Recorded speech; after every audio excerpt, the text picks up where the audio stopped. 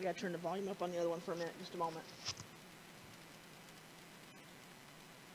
I was gonna say, of course, if we're not talking either when you're checking it, you're not gonna, still not gonna know.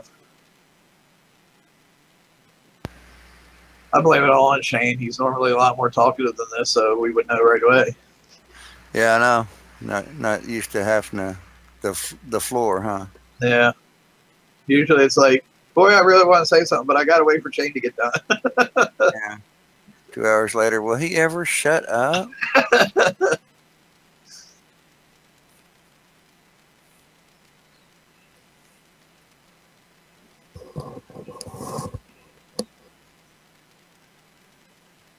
I've learned after a while, it's like, okay, if it's something really important and you're gonna forget about it, you need to just kind of talk over it for a minute. Yeah, I'll shut up. Oh, we bring Big Super in. Yeah. Or Raptor.